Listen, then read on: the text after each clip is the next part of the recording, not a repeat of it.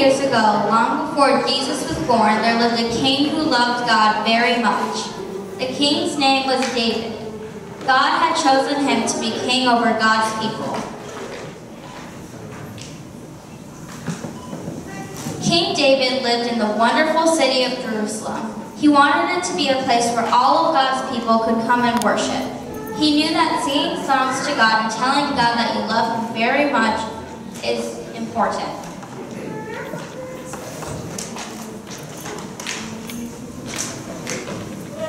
Now, in the land of Israel, there was a very special box called the Ark of the Covenant. This golden box had two beautiful golden angels on top looking down. It was very special because God had commanded the people to make it.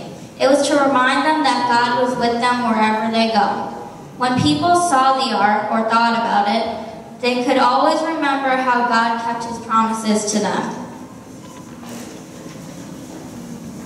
David wanted everyone to worship God, so I went to find the Ark of the Covenant and bring it to Jerusalem.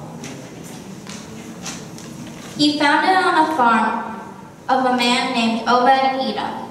As long as the ark had been at Obed-Edom's farm, good things had happened to him. God was showing the people that he was with them even though they couldn't see it.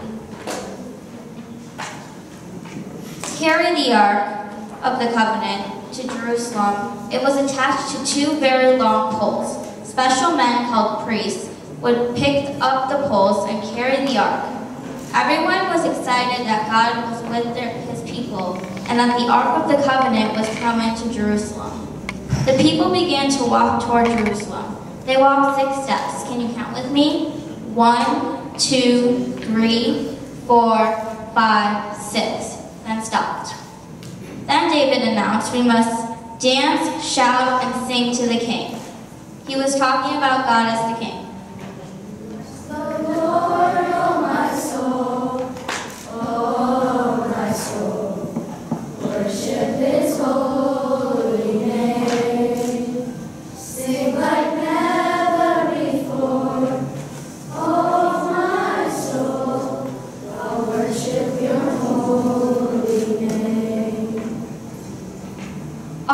People worshipped God. Today we no longer have an Ark of the Covenant that reminds us that God is with us, but we have something even better.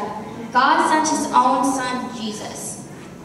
There is something that reminds us that Jesus is with us. It's the cross. The cross is empty because Jesus is alive and here with us. That is why we have a cross at the place where we worship. When we see it, we are reminded that we can dance, shout, and sing to the King. The King we sing about and for is Jesus.